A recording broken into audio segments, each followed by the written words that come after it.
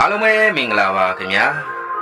ဒေဝ YouTube Channel ကပြန်လည်ကြိုဆိုလိုက်ပါတယ်ငွေဝင်ကျန်းစေတဲ့ရေကန်ဤရေတောင်ဤဆိုတဲ့အစွမ်းထက်ရရာလေးတစ်ခုကိုဆရာပြောပြပေးသွားမှာဖြစ်ပါတယ်အခုရောက်နေတဲ့အခုရောက်နေတဲ့21ရက်နေ့ဟာနှစ်လပိုင်းတစ်လလုံးမှာရက်ကောင်းရက်မြက်ဖြစ်တဲ့နေကောင်းနေပြက်လေးဖြစ်တဲ့ဒီလိုရက်မျိုးမှာဒီမြတ်စွာဘုရားကိုတောက်တော့ရေကတ်လူမယ်ဆိုရင်ကိုယ်လည်းအေးချမ်းစေတယ်စိတ်လည်းအေးချမ်းစေတယ် လူတိုင်းကလူတိုင်းရစေတယ်အစစအရာရာအစဉ်ပြေစေတယ်ငွေဝင်စေတယ်စီးပွားရေးတွေအလုပ်ကိုင်တွေငွေရေးကြေးတွေအစဉ်ပြေစေတယ်အဲဒါကြောင့်လို့ဆရာကဒီနေ့ပြောပြသွားမယ့်ရေဒီယာရဲ့နာမည်ကငွေဝင်ကျန်းစေတဲ့ရေကန်ဤရေတောင်ဤဆိုတဲ့ရေဒီယာဖြစ်ပါတယ်ဒီရေဒီယာလေးကိုဘယ်လိုပြုလုပ်ရမလဲဆိုတာကိုလည်းဆရာသေချာရှင်းပြပေးပါမယ်ဗီဒီယိုလေးကိုလည်းပြီးဆုံးအောင်ထိကြည့်ပေးပါဒါမှဆရာပြောတဲ့စောင်းရန်ရှောင်းရန်တွေကိုလည်းသိရမှာဖြစ်ပါတယ်ဒီငွေဝင်ကျန်းစေတဲ့ရေဒီယာကိုပြုလုပ်ပြီးပြီးဆိုတာနဲ့အခုရောက်နေတဲ့နှစ်လပိုင်း21ရက်နေ့ ကနေစပြီးတော့လာကုံတဲ့အထိငွေဝင်ကျန်းလာလိမ့်မယ်ငွေဝင်လာလိမ့်မယ်ငွေဒလဟောဝင်လာပါလိမ့်မယ်ဆိုတာကိုဆရာအာမခံပါတယ်လုံယုံကြည်ကြည်နဲ့လုပ်ဖို့ပဲလိုပါတယ်ကုသိုလ်စိတ်တွေတရားစိတ်တွေထားပြီးတော့မှလုပ်ပါဒါဆိုရင်ချက်ချင်းကိုထူးခြားသေးတယ်ချက်ချင်းကိုအစွမ်းပြသေးပါတယ်။ရာကူပြောပြသွားမယ့်ရေဒီယာလေးကို21ရက်နလ2024ခုနှစ်မှာပြုလုပ်ရမှာဖြစ်ပါတယ်21ရက်နေ့တရက်တည်းပဲပြုလုပ်ရမှာဖြစ်ပါတယ်21ရက်နေ့မနက်9:00နာရီကနေမနက်7:00နာရီခွဲတွင်ကိုဆရာတို့ဘုရေတံမှုနှစ်ဘူးလို့ပါတယ်ရေတံမှုကတော့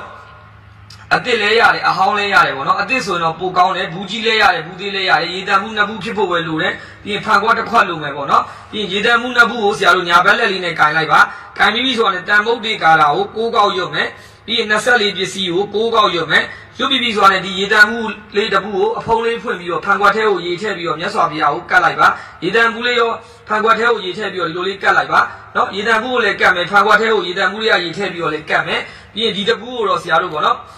ဆရာတို့အပူသောကတွေငြိမ်းအေးပါစေအပူသောကတွေကင်းဝေးပါစေငွေများများဝင်ပါစေလိုတိုင်းတလိုတိုင်းရပါစေလို့ဗဇက်ကနေပြောပြီးတော့ဒီရေတံမှုလေးကိုဆရာတို့တောက်လိုက်မယ်တောက်ပြီးပြီဆိုတော့ဒီရေဒီယာလေးပြုလုပ်လို့ပြီးပါပြီနော်ဆရာတို့စီမီအဖြူရောင်နှစ်တိုင်အောင်လဲမြတ်စွာဘုရားရှင်ကိုတော်မြတ်ကြီးကိုပူဇော်ပေးပါပြီးဆူတောင်းရမှာတော့ဗုဒ္ဓမြတ်စွာဘုရားရှင်ကိုတော်မြတ်ကြီးကို21ရက်နေ့မှာငွေဝင်ကျန်းနေတဲ့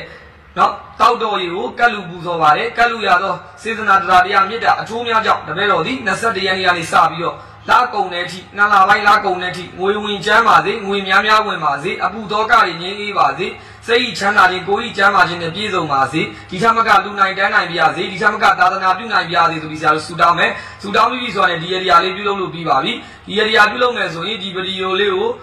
share ထားပေးပါမိမိရဲ့မိတ်ဆွေတငယ်ချင်းတွေကိုလည်းဒီ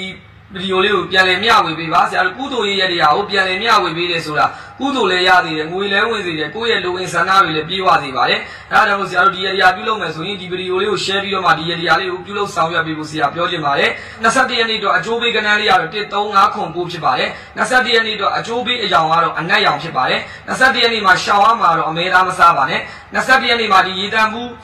ရရရာကိုကတ်လူကြတယ်ပြုလုပ်ကြတယ်ခုနှစ်ရက်သားသမီးအားလုံးဆရာရဲ့မေတ္တာတက်ကြောင့်မလို့21ရက်နေ့ကနေစပြီးလာကုန်တဲ့အထိငွေဝင်ကျန်းကြပါစေလို့ဆရာဆုတောင်းပေးပါတယ်ဆရာစီမှာလည်းရွှေမြင်းပြန်ဆိုတဲ့